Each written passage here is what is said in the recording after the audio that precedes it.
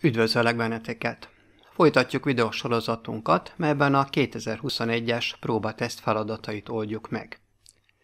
Konkrét videónkban a harmadik feladathoz érkeztünk, amely így szól, határozd meg az ábra alapján az ismeretlen oldalak hosszát, ha tudjuk, hogy az ábrán látható alakzat kerülete 12 cm.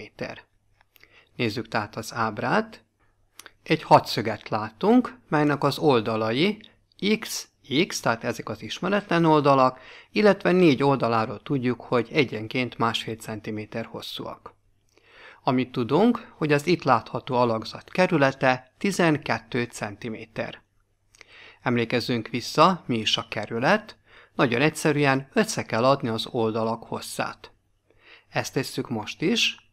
Tudjuk, hogy az összkerületünk 12 cm. Ha szeretnénk ennek az alakzatnak fölírni a kerületét, először is áll két ismeretlen oldalból, tehát x plusz x, illetve négy darab másfél centiméteres oldalból. Következő lépésben, amit összevonhatunk, az x plusz x adja a 2x-et, az 1,5-ből pedig láthatjuk, hogy 4 oldal található, tehát nyugodtan írhatjuk, hogy 4x 1,5 és ezt a szorzást végezzük el külön, 1,5-öt szorozzuk be 4-jel. 4x5 az 20, írom a nullát, maradt a 2, 4x1 az 4, plusz 2 az 6.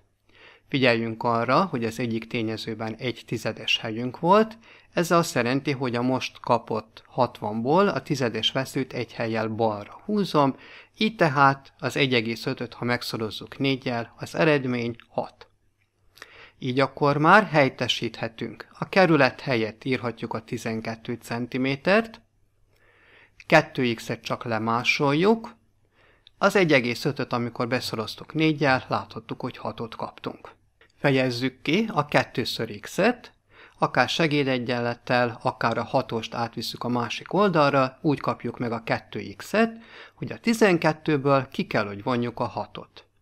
Hát 12 mínusz 6 az nem nehéz, az egyenlő lesz 6-tal, és mivel jelen esetben kettővel szorzom az ismeretlent bal oldalon, így az egyenlet mindkét oldalát elosztom kettővel, így akkor az ismeretlenünk x egyenlő lesz 6 osztva 2-vel, vagyis x egyenlő 3 cm. Az ábrán látható hatszög ismeretlen oldala, ezek szerint 3 cm. Ezzel feladatunk végéhez is érkeztünk, köszönöm a figyelmeteket!